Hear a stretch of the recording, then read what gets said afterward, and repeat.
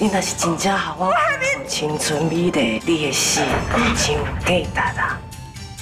以后你看阿姊是想要创啥？替咱小家传宗接代。小家有一个老爷要保护，就调教五星变少年，看这你啊，哎，这件太重要了，你给出关。